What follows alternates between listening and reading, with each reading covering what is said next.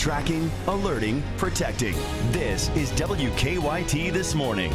Welcome back. Coming up on 6:30 on WKYT this morning, new details about a soldier hurt in what police say was a drunken hit and run caused by a Lexington firefighter. A teen's family says a Lexington college and the people on the scene are responsible for their son's death. And we'll have details about a traffic alert in Lexington's busy Chevy Chase area.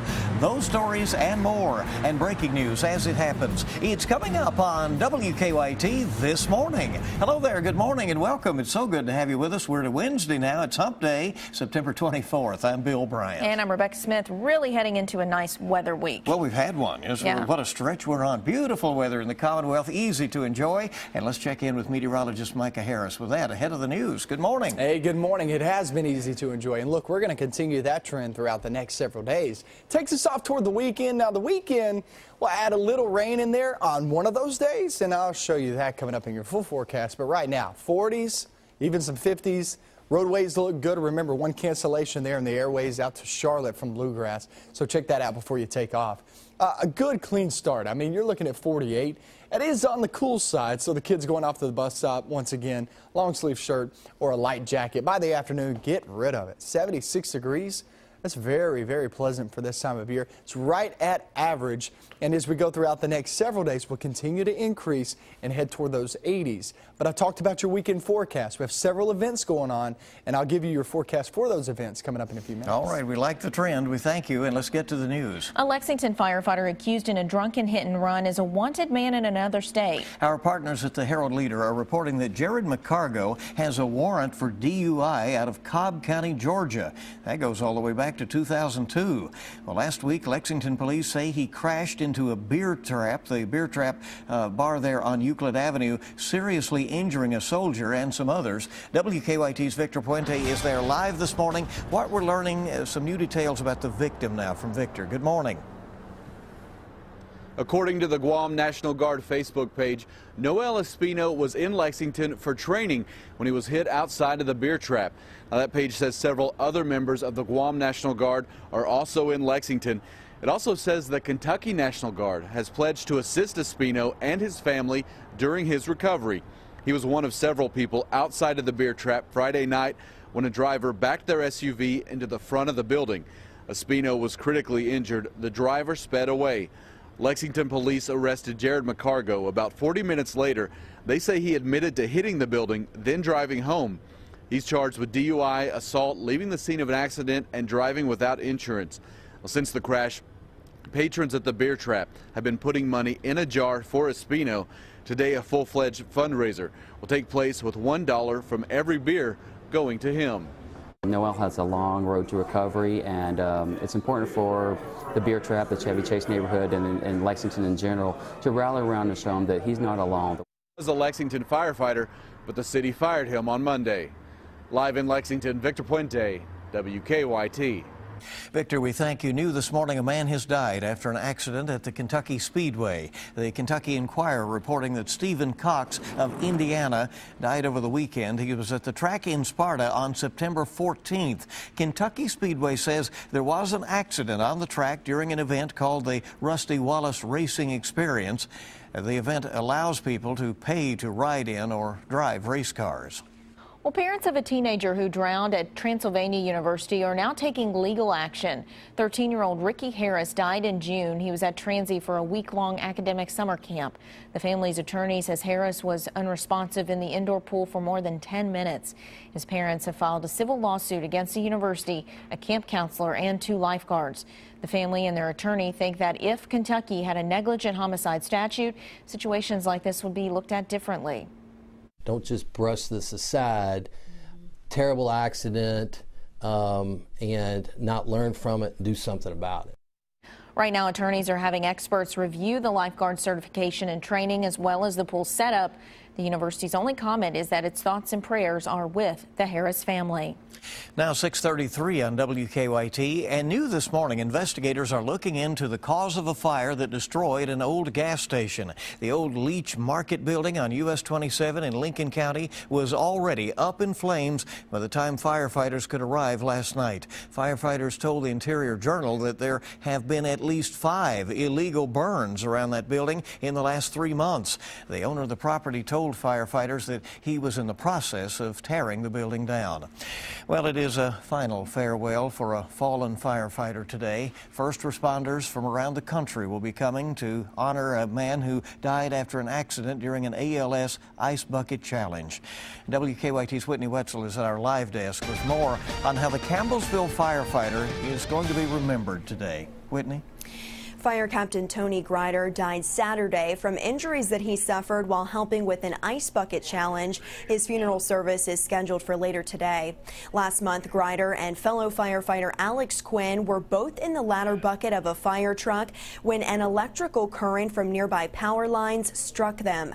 Quinn was released from a Louisville hospital last week. Yesterday, firefighters from across the country traveled to Adair County to attend Grider's visitation. Fire crews from Lexington and as far as Washington, D.C., are coming together to honor the fallen firefighter. Grider's funeral service will start at noon today at Columbia Christian Church. At the live desk, Whitney Wetzel, back to you. A former police officer is in jail accused of attacking disabled adults and his wife.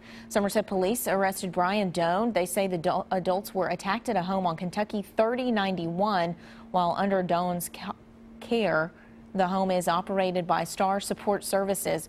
Court records list Doan as the program's director. Police say the victims were abused.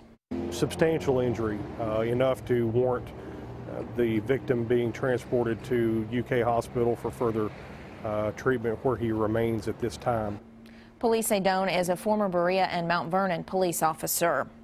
A financial consultant accused of stealing more than a million dollars from a client had his first day in court. Kenneth Thomas's attorney entered a not guilty plea on his behalf. Police say Thomas founded Retire America. We're told he sold fake bonds to the victim. Lexington police say there could be more charges and more victims. Well, community members are learning more about a major road project that's proposed and getting underway in some cases. The Kentucky Transportation Cabinet held a meeting about the expansion of the Mountain Parkway in Wolfe County. The state wants to expand the 30 miles between Campton and Prestonsburg from two lanes to four. We want to improve the ability to transport goods and services as well as, as uh, enable the people of eastern Kentucky to transport themselves back and forth between Pikeville and Lexington. The expansion will cost more than $700 million, and it could take six to 10 years to complete. And in Lexington, a traffic alert for anyone who drives through the city's Chevy Chase area. The city of Lexington is closing some roads to remove a traffic island. Today, the right turn lane toward Tates Creek from Euclid and High Street will be blocked off. And tomorrow, outbound Fontaine will be closed at East High Street. Uh, those closures will begin at 9 a.m. and they'll last until 3 p.m. Trying to get it done in the middle of the day, but keep that in mind if you travel through Chevy Chase. Kroger says it will start offering ready-to-drink single-serve wine beverages. The Herald Leader reports that the Cincinnati-based chain is partnering with a California company to sell four canned beverages.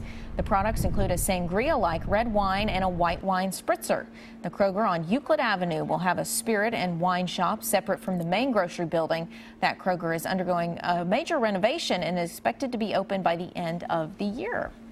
So getting in on the wine trend. There you go. And uh, that uh, new store has been a little bit controversial, certainly, but is on the way soon. Yeah. All right, let's check to see how things are out on the road. Let's go to Officer Don, check on that live drive traffic. Hey, Don, good morning. Good morning. We just talked about Chevy Chase, all the construction project that's happening there today. That will get underway after 9 o'clock this morning as far as major impact on traffic flow. Uh, but for now, we're okay in that area. Uh, on the north side of Lexington, there's a stalled car in the inner loop near North Broadway. Shouldn't be too big of an issue. As we get a live look at Harrodsburg and New Circle through the crossover this morning, uh, traffic's picking up, but it's still moving okay. Same deal on Versailles Road, by the way, coming in from Woodford County past the airport, looking good. On our ways map, uh, there is nothing significant significant popping up to tell you about a couple of stalled cars, but all the exit ramps off the interstate look good. Uh, same deal for the circle with no problems at Tates Creek or Nicholasville roads. Now back to you. All right, looks good out there. Officer Don and Deanne on the air on 98.1 The Bull when you get in your car. And we're on the way with more on WKYT this morning. So good to have you along with us here on this Wednesday. So golfer goes on a tirade, and it's all caught on camera. Find out what it cost him to club his clubs ahead. okay. I'm not gonna lie, I've been there before.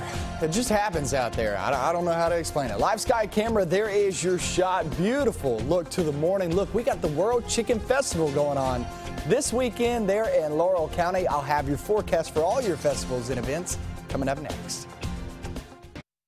Now, your hour by hour forecast with meteorologist Micah Harris and First Alert Defender. Oh, things are looking good outside. I don't see any issues whatsoever. You're traveling there on the roadways. Well, no fog threat uh, whatsoever. Maybe down in the valley regions, but you know, it's common uh, as we work our way down toward the southeast. Other than that, it's good. Now, if you're looking across the airways, Charlotte, canceled this morning there. Uh, fly over toward the East Coast. The East Coast got a little system going on with a lot of rain and some wind, so that's probably the issue right there. But for the most part, things are looking pretty good. Airways and also roadways. All right, check this out. Did you know typically this time of year, our overnight lows are in the mid 50s? We haven't seen that any time lately. I mean, the past several mornings have been there in the low to mid 40s. Uh, so, yeah, we're getting closer and closer, and that always means one thing. You get warmer, and we add in a little rain in the forecast. But this time it's a little bit different. We're not seeing that outside. And we're seeing 40s and 50s now, no mid 50s out and about, but we will see that in the days to come. Got one more day, which is tomorrow morning, that we're actually in the 40s. The rest of the days in the seven day forecast, they're in the 50s. So if you're not liking this cool weather just yet, I don't know, we're just starting fall. Um, but yeah, it'll change for you here in the upcoming uh, several hours. There you are, 76 degrees by the afternoon. A good looking day. It's very comfortable. That's average for this time of year. World Chicken Festival going on, Burgoo Festival going on there in Lawrenceburg, and that Chicken Festival there in London. Things look good for you guys. I mean, it looks phenomenal. We have several festivals happening, one over in West Liberty this weekend, too, uh, as things look good for you guys there in Morgan County. So, yeah, take off, enjoy 80 degrees. It'll be warm, but, you know, that's all right. It's not too bad. 78 there on Sunday, adding a little bit of a chance of rain as we kind of have the conclusion of some of these festivals. It's not much rain, but the chance is still there. They're in toward Friday night football. It looks pretty good. Uh, 79 for a high, which means football kickoff right around 75 degrees. Can't really beat that. Saturday UK game in Vandy, loving it. And then we hit Sunday and off in toward next week. That's when we bring in that chance of rain as the system comes in from the south. Still several uncertainties about this, uh, so we'll be watching it closely. But as of right now, you see not great chances, but the chances are there. But that's far away. That's five, six days yeah. away. So we're looking pretty good the next several days. Looks and awesome. Congratulations the World Chicken Festival, 25 years. 25th yeah. year. And you said earlier, what's the cool? Well, little, it's uh, because uh, KFC, the original KFC, was on the north side of Corbin there in southern That's Laurel neat. County. I didn't yeah, know that. Where, uh, That's neat stuff. Colonel Sanders had Colonel's. Or Sanders Cafe. There yeah. you go. see. You can take that to work. You'll sound smart today. yeah. From Bill hungry, hungry for some chicken this morning. Here you nice. go. 6:44 the time now. A golfer has a meltdown at a Philadelphia golf course, and it is all caught on camera. Golf is the kind of sport that can get you really teed off, but this was a head turner. Chris Cataldo eh, didn't just snap his clubs; he clubbed them. And what he didn't realize was that his buddy was recording this tantrum. Normally he's an above average golfer, but at a tournament near Philadelphia, he had a really bad couple of days. He apologized for his language. Here it bleep there. He figures he destroyed about $1,000 worth of clubs. That Man. is some frustration. As Micah says, he's been there. Yeah, I mean. Golf isn't easy. That's right. Golf it's not an not easy sport. I agree. we can kind of sympathize with the guy. yeah. Hey, it's good to have you along. WKYT this morning. Hope you don't have a day like that. Let's yeah. make it a good day Let's here on this not. Wednesday. We have a lot more news. Stay with us. I'm Norah O'Donnell. Coming up 40 years after Blondie hit the music scene, Debbie Harry and Chris Stein share memories. Plus, a new book full of rare photos. That's coming up on CBS This Morning.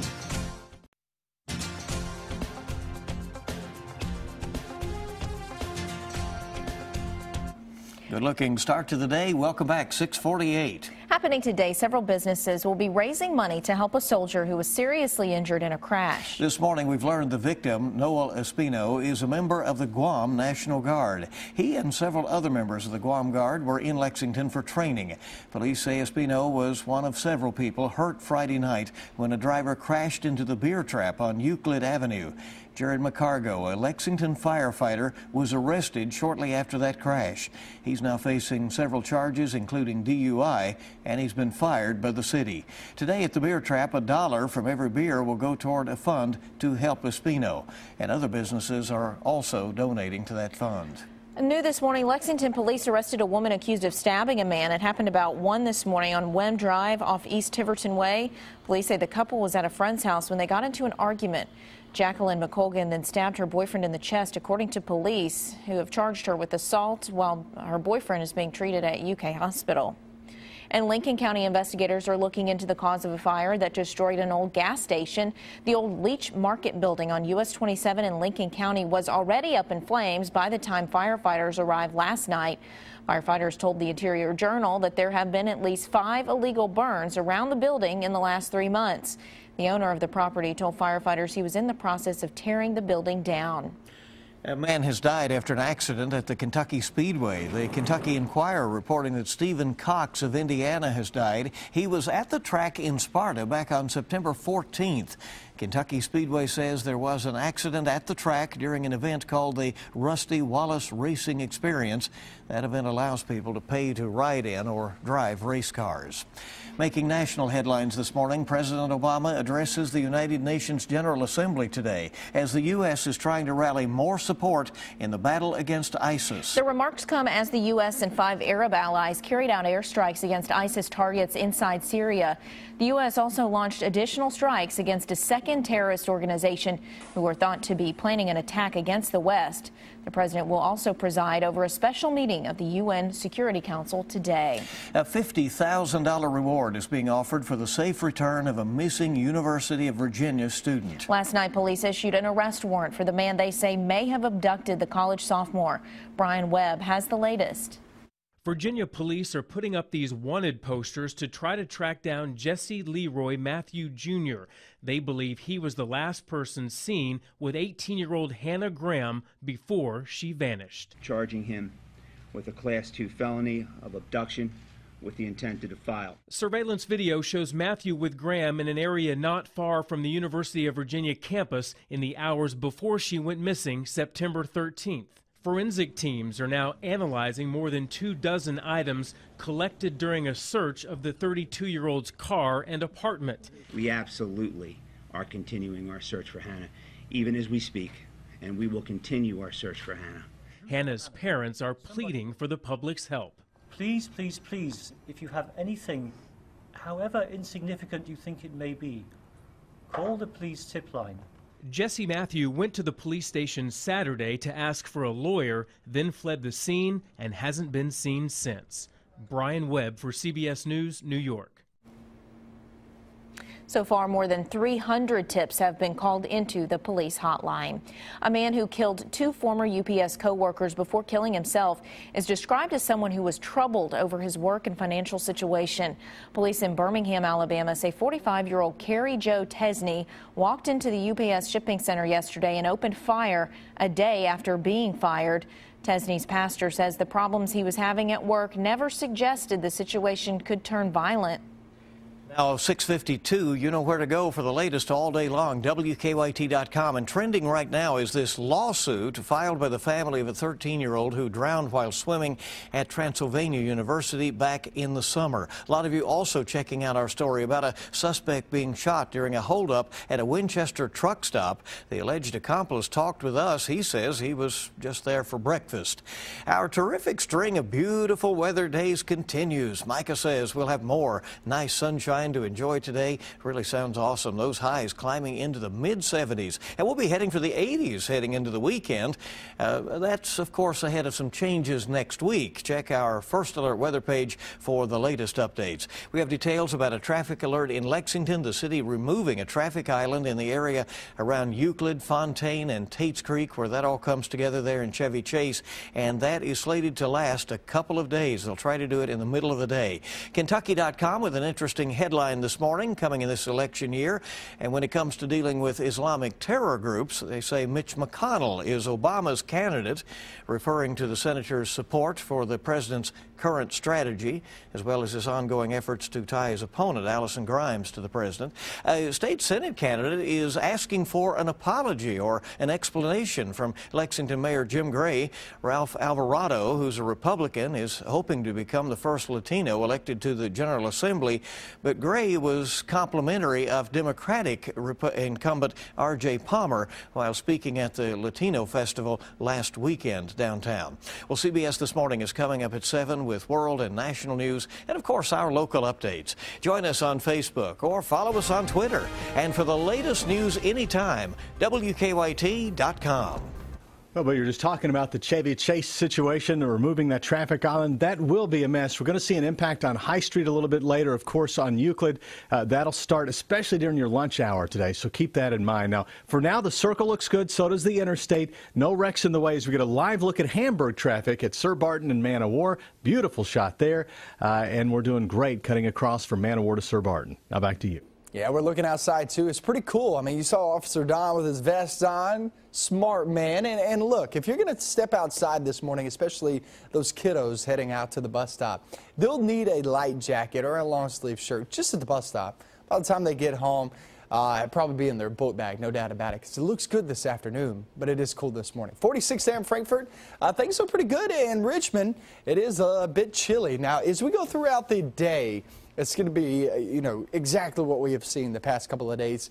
Looks wise, you'll have mostly sunny skies, but we're slowly but surely warming each and every single day all the way throughout the weekend. Yesterday and the day before and the day before that, upper 60s, lower 70s. Today it's going to be more, more like mid 70s. And that's actually average for this time of year is 76 degrees. So you're going to have an average day, but it won't look like an average day looked like an extremely nice day, and that takes us uh, not only for today, but off toward the weekend. Like I said, the next few days, phenomenal. The weekend, yeah. festivals, several still going on, and, and uh, yeah, it looks great for them. Yeah. Nothing wrong with being average right now. Absolutely not. We will take it. we will. Each and every day. And we thank you. And two Portland, Oregon police officers proved that they're willing to serve in any situation. Portland police said a Pizza Hut delivery driver was involved in a crash earlier this month. So the two officers finished the delivery for him. The driver is doing all right. And when the officers arrived at the home of the customer, he snapped a picture of the officers who went out of their way. I'm guessing that pizza may have been a little cold, but you Might know some been. people like cold pizza. but the guy wanted to take a picture and get some cold, uh, get some uh, publicity for those guys. And you're right, maybe enjoyed his cold pizza.